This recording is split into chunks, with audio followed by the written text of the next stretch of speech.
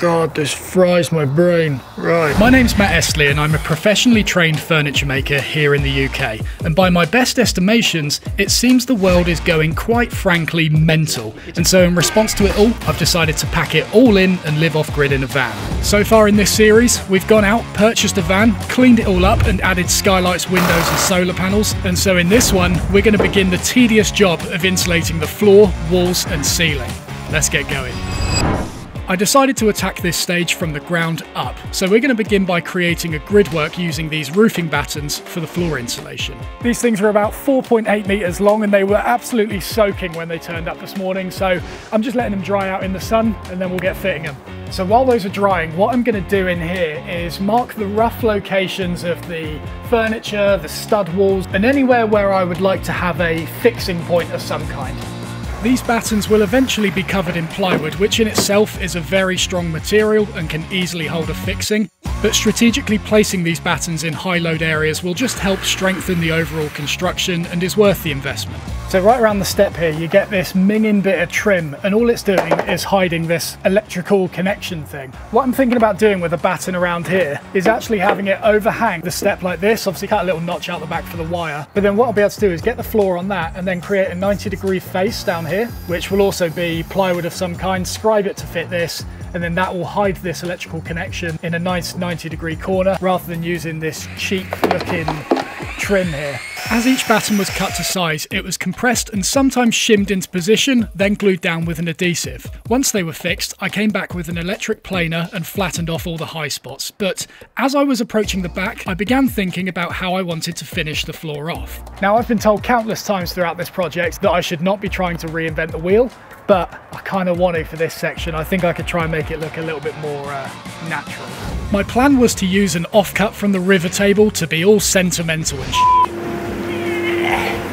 and to use it to create a hard-wearing, durable, pillowed edge at the back of the van that will protect the vinyl floor from damage. And so we'll be fitting that in the next episode. But they're all in place, they're all even, they feel pretty secure, so it's time to start insulating them. Now I've got three sheets of this 25mm PIR which I'm going to use to insulate the floor, and to cut it, I've stolen this bread knife from home. And so now, one by one, the boards were cut to size to fit the areas between the battens. I slowly began to realise that the bread knife wasn't actually that good for cutting insulation because the thickness of the blade caused it to bind, so I eventually switched to using my marking knife.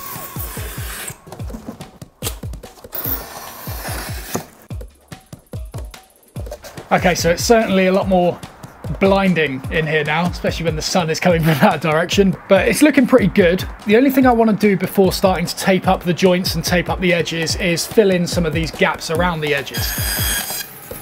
Oh, that's loud.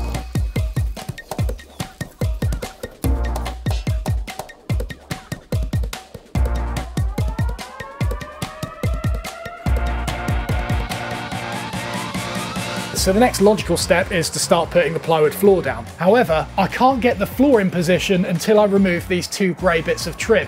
And if I'm going to take off them, I might as well get rid of the bulkhead liner as well. The reason for this is firstly to insulate it, which is pretty self-explanatory, but secondly, I've seen a lot of people turn this into a really handy storage area for miscellaneous items that if you were living in a home, would normally just go up in the attic.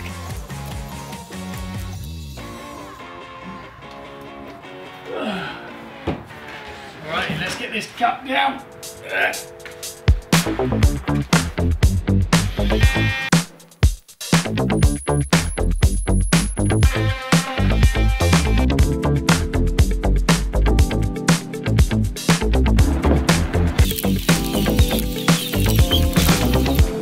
Oh. I've been putting it backwards. How? Why? Oh. What an idiot. What an absolute This shelf will be supported by three brackets that share the fixing holes for the sun visor and the trim. And I'll be using a nice thick board of either 15 or 18 millimeter plywood so it spans the distance without any bending and stuff. Right. I need that. Because now the trim was out the way, I could begin creating templates for my new floor.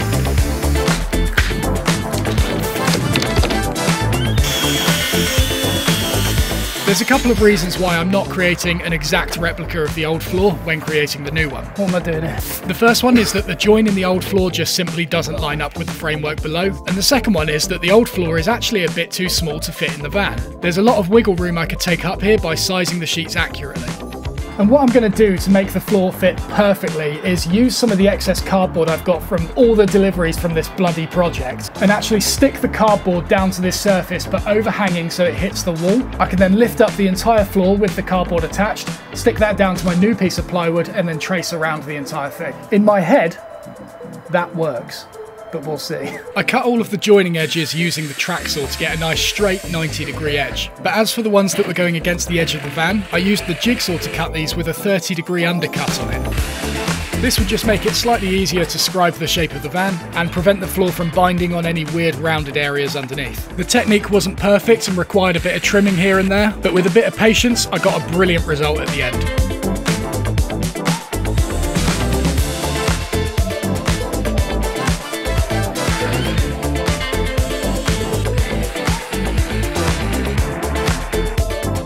As you can see, the boards land perfectly on the batten below, but there's a little bit of misalignment with the edge of the boards, and so I marked this with a knife and then took it off with a track saw.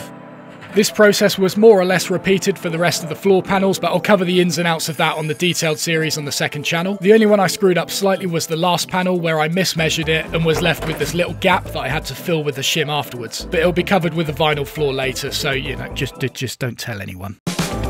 To help prevent any misalignment and unevenness over time, I located the boards together using dominoes. You could also use a biscuit jointer for this, but it's not completely necessary. I also went ahead and added some solid wood lipping to the back corners of the floor, which I carefully scribed into position. Again, this would help prevent chipping and add durability to the back corners. Once everything was in position, I marked out the location of the battens using a chalk line and got it fixed down with screws, and then cut off any excess around the step area with the jigsaw and multi-tool, and then flush trimmed it with the router. It's a lovely rainy day here in the UK, so what better time to start doing the 12 volt and a, and a little bit of 230 volt electrics.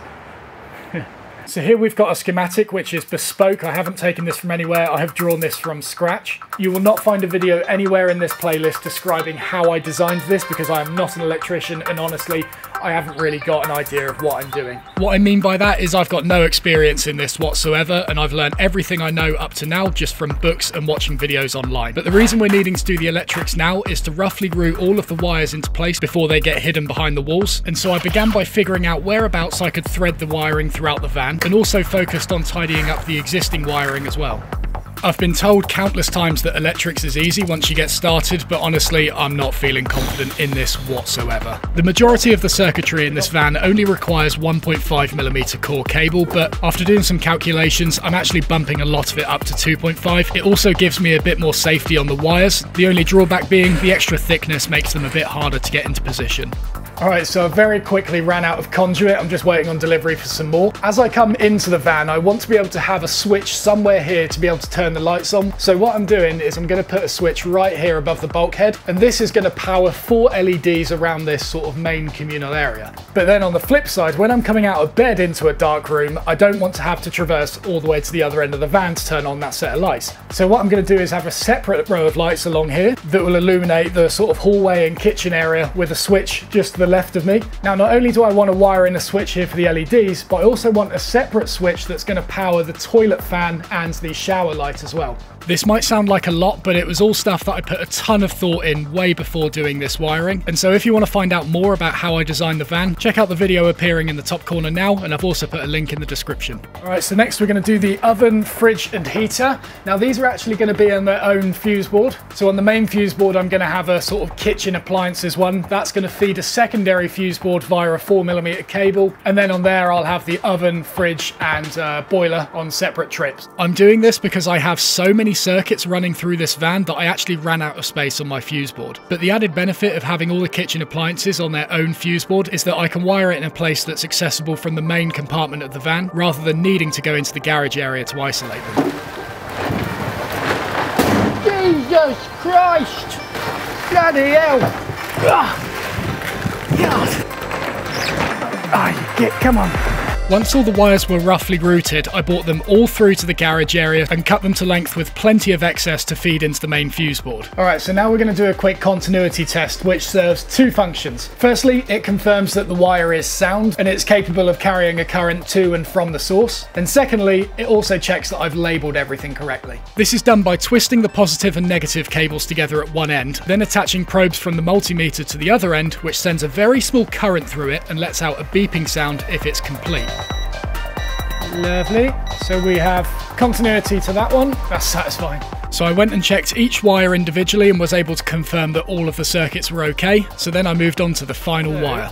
We are looking for the battery, which given this symbol here probably means there's a battery in here but we also need to figure out a way of connecting a cable to it that runs to the back corner of the van right many warning signs. This is to wire in what's called a DC to DC converter, which in layman's terms is a device that allows me to recharge the leisure batteries off the vehicle battery itself. So this is 16 millimeter core cable, which is what uh, was recommended. Basically, it's a secondary backup source of power in addition to the solar panels I've already installed. I wasn't going to actually connect it to the battery yet because clearly I don't want it to be live while still working on it. All I wanted to do at this point was get it cut to length and routed through the body of the van so I could begin working on the next stage, which is the insulation. And we're going to be attacking insulation in three different ways. First one is going to be noise cancellation. Second one is going to be sort of thermal heat entrapment. And the third one is going to be in the form of a vapor barrier that will prevent condensation. We began by adding sound deadening mats to all of the panels on the van. These are made of a very high density foam with an extremely sticky face on them. And the intention is that they add mass to panels that would otherwise vibrate while the van is in motion. This would otherwise add a ton of noise, which is completely avoidable with the addition of these mats definitely better.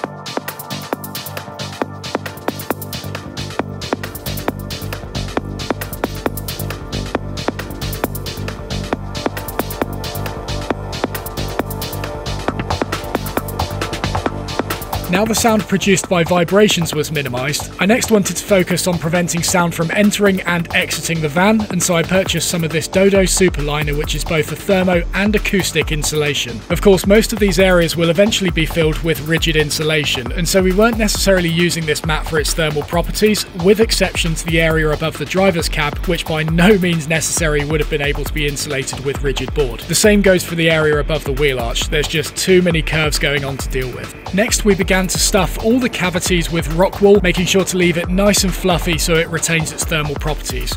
Rock wool seems to be used a lot in van conversions, but it gets an equal amount of flack as well, mainly for its ability to take on moisture. A workaround for this that I since learned after insulating the van would be to put the rock wool in plastic bags, which will allow it to retain all of its thermal properties, but also add an element of water resistance as well. Next was the rigid insulation board. Cutting this and carving this to shape was the most tedious, boring thing I've ever done, but out of all of the commercially available forms of insulation you can get, this stuff is by far the best. And so by using a combination of a bread knife, a Japanese saw, and a multi-tool, this was shaped and carved to fit all of the inside cavities and fit flush with the internal ribs of the van. All right, so before fitting the rigid board into these sections, I want to get some sort of wooden rib in here that I can use to screw the cladding up into. Of course, I could do this into the metal structure, but that would mean I would have to use self-tapping screws in order to fix whatever cladding I'm using, rather than screw up into wood that can not only accept a variety of screws, but can also accept pins as well.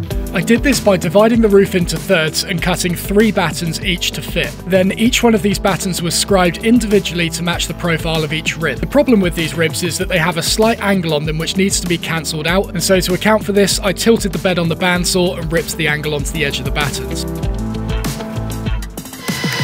The reason I'm screwing these onto the side of the ribs rather than the bottom, which is the more conventional method, is because I'm 6 foot 1 and I need to maximise as much headroom as possible. What I'm using for this is this really handy countersinking screwdriver bit from Bosch that just grips in your drill and then on the end you can have a Phillips but then if you push this up, flip it round, push it back in, you've then got a drill bit and a countersink on the other end. I'll pop a link to this in the description below because it's been really useful to me over the years and this is just another great use case example. right. Didn't think about that. With a bit of forethought, things like this generally aren't needed, but in sticky situations like that, they can be very useful. This one is actually a proper attachment for the drill, but you can get like auxiliary ones for this because they can be very, very useful. Of course, the cladding is going to need something at the ends to fix into, and so using a spirit level, I added an extra batten to the end of the van that was perfectly in line with the rest of them, and also messed around a bit with the wiring to make sure it was out of the way. I also took time to prop up and support some of the roof panels that had been distorted from my fat ass walking all over the van while installing the solar panels and skylights. So with all that done, I could get back to the roof insulation, which was significantly easier than carving all of those wall panels. The other advantage here is that I was able to use my tape measure's built-in marking gauge to establish a straight parallel line, simply lock it at the desired distance and drag it down the insulation.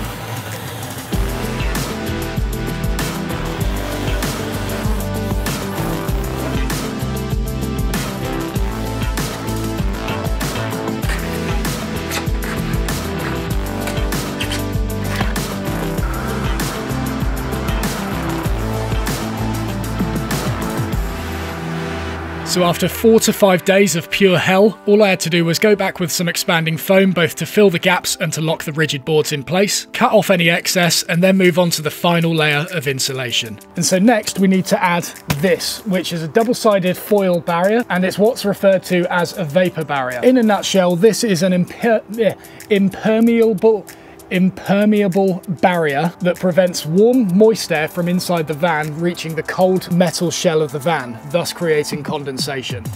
If you want to learn more about this and honestly insulation in general, Greg Virgoe's got some amazing videos on the subject that I've put links to below. I'd highly recommend checking it out because it cleared up so many questions for me. The majority of this vapor barrier was fixed down with spray adhesive, but then I did use a couple of staples in certain areas to help hold it in position. And then I came back with foil tape and covered all of the joints, all of the staples to make it as impermeable as possible. There is a point of diminishing returns with this, and so you can't expect yourself to get every single area. Trust me me, I tried. Just get as much covered as you can. I've been told that van conversions are more about mitigation when it comes to condensation rather than full prevention. But that's the van all fully insulated, and so in the next video, we're going to begin getting the vinyl floor down and possibly even begin some stud work. Thanks as always for watching, and I'll see you then.